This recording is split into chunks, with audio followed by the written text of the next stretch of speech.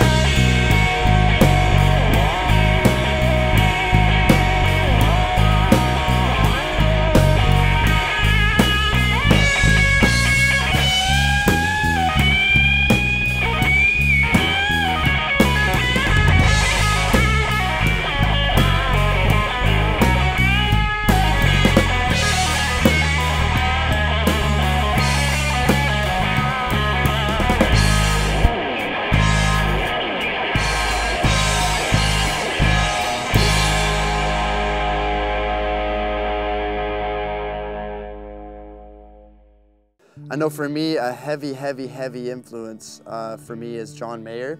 I love his approach to guitar, and actually, it changed my approach to guitar whenever I heard him play for the first time. Not the Daughters poppy stuff. I still have respect for that, but what I really love about him is his uh, his roots blues approach. Uh, so that really inspired me to be like, oh, I think I could try to do that. And I've got a long ways to go before I get to him, but it's definitely my goal to be uh, that caliber of musician and that caliber of songwriter. We've got a lot of uh, musical influences. Uh, Pink Floyd. I like um, a lot of uh, newer bands that kind of have like a psychedelic rock influence. Tame Impala, that's a good You know, one. the Bright Light Social Hour. The Bright Light Social Hour, yeah. definitely Yeah. great band. Great And band. classic stuff too, like Led Zeppelin Ze- uh, Yeah. Zeppelin, for sure. yeah. ACDC for me. Oh, ACD. That's I can't started say the listening to same, but. I, I respect it. For Yeah, me, I I would listen to classic rock at first. Yeah, That's how I for started. sure. For sure. Definitely. Mostly the showmanship of, of some people, like Justin mentioned John Mayer, and uh, I saw his live album, and it changed my the way I look at music. So, uh, just heavy influence, John Mayer. Yeah, definitely. So my inspirations for playing music are uh, a lifetime in the making. I started playing music at a very young age. I came from a really musical family. Uh, my grandpa taught me to play music. He he taught me how to play the dulcimer at five, and we used to go around to craft shows and. Uh, I used to play in front of people and it was really cool and I was like really addicted to the attention as a five-year-old and it was fun. And I thought, oh, I really like this music thing. And so I grew up in that environment and it started becoming more fostered and more fostered in me. And then I started playing drums when I was eight and guitar when I was 12 and everything has just been uh, sort of history ever since. But it's definitely deep running in my family.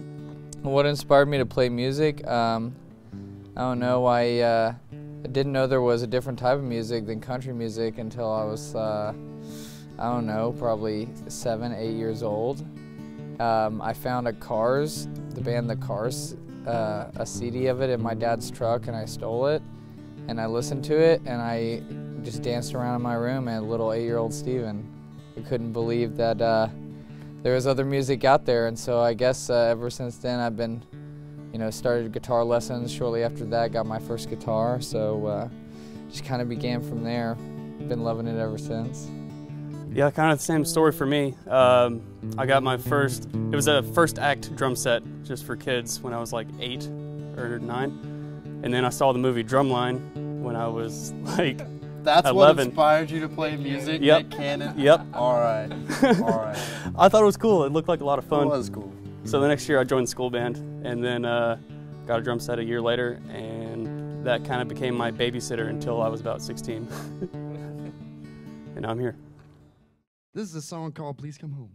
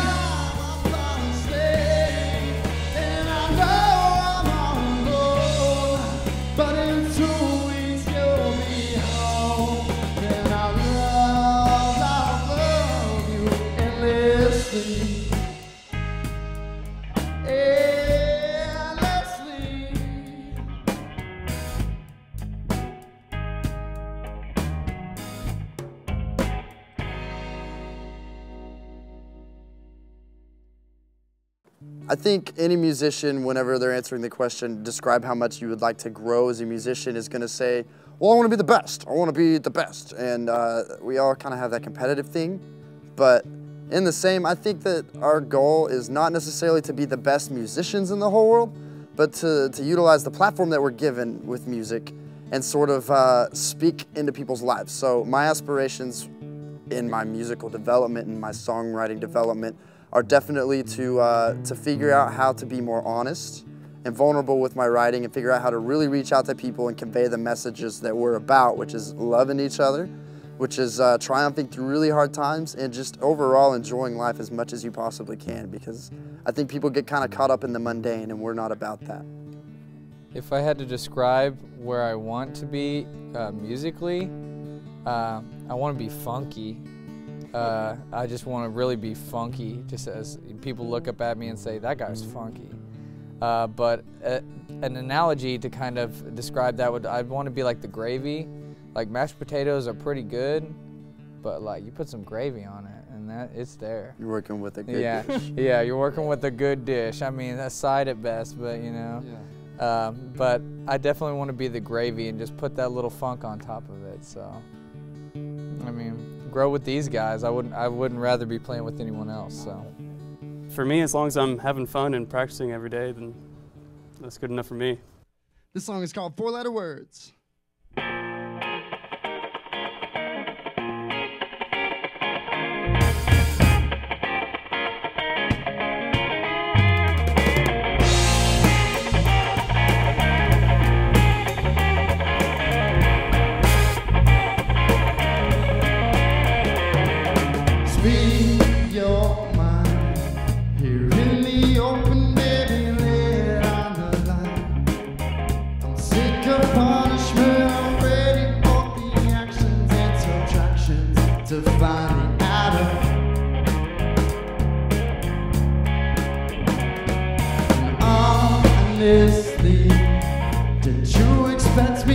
To on one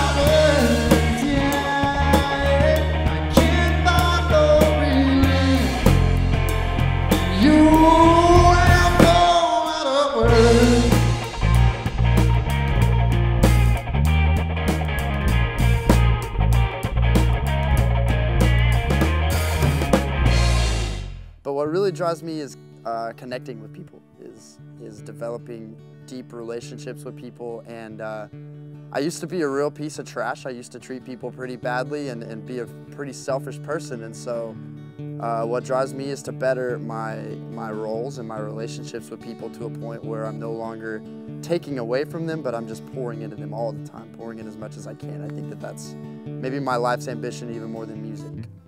Yeah, definitely connecting with people is, is beautiful. That's a good way to describe kind of what drives me.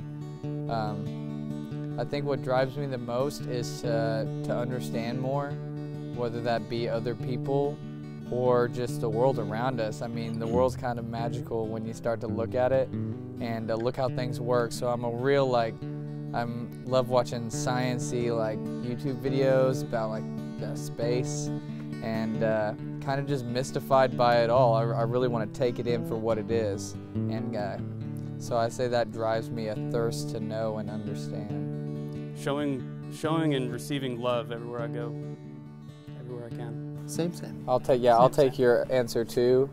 I'll take Same, both same. of our answers and raise it your answer as well. Yeah.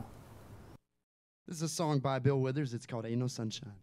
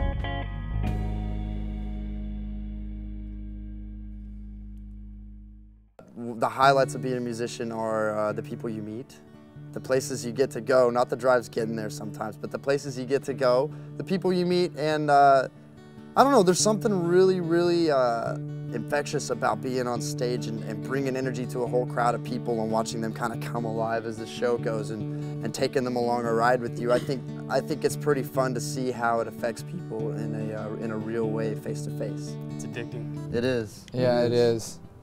It's like um, it's like uh, playing any sport. You know, the when everybody around getting to watch you do what you've practiced. Um, I think the best part about being a musician is fulfillment, um, and also getting to write something that people um, connect with. So you can write something because you're feeling a certain way, and play it for people, and they will they'll say, "Hey, I felt that way before," and they will like the music. And so it's a way to kind of connect with people, like we said. Um, but it's also uh, it's just a fulfillment thing because you practice, you try and make little changes, and when people notice, and that's what you do it for. I mean, it's awesome. It's awesome to be a part of. This is a song about being crazy. It's called Maniac.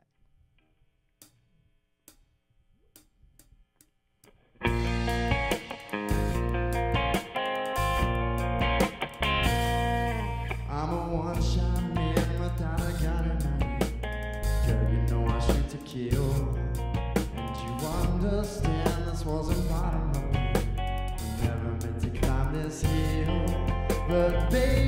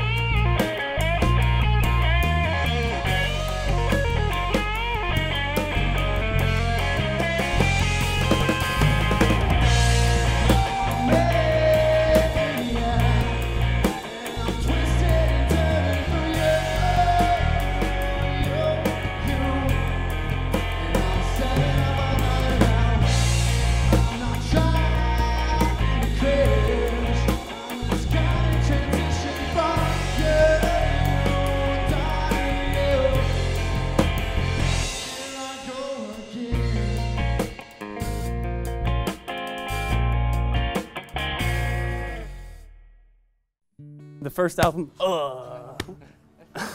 the first album I ever bought was the Marshall Mathers LP by Eminem, and I used to put it in my portable CD player and put an NSYNC CD over on top of it and close it. And whenever my mom asked what I was listening to, I could show her NSYNC and not get in trouble for listening to Eminem. What was yours? Uh, the first CD I got, um, I think I can't remember which one came first. Uh, I think it was Nellyville by Nelly. Um, and you know, pretty. Uh, I, I don't really have words to say. I enjoyed it at the time. I really did. Loved it. I uh, yeah. I probably listened to "Shake Your Tail Feather" um, quite quite a bit. Yeah. When I was a young boy, I used to uh, have a deal with my grandparents if I made good grades in school, like a certain amount of A's and uh, no C's or anything like that, that they would buy me a CD.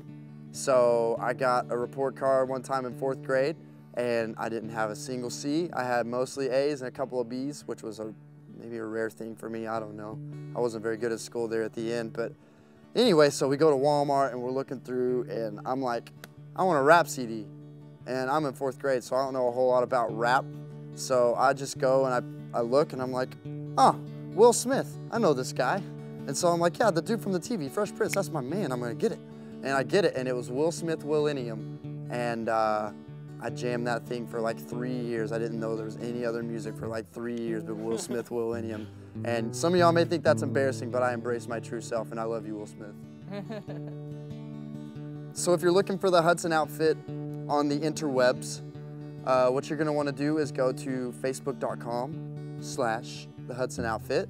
We'll be there, you'll see our bright shiny faces in this funny hat. And uh, we'll be there. We have in the works our first EP, it's forthcoming. So we'll keep you guys updated via our Facebook page on that, so you can definitely find us there.